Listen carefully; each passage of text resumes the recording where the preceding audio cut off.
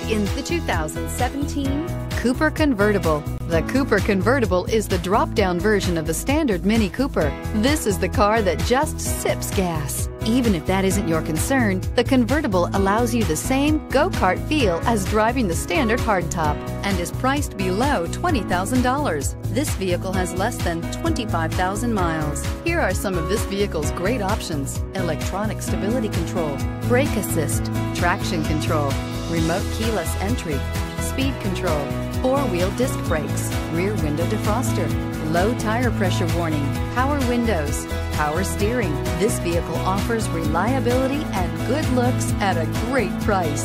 So come in and take a test drive today.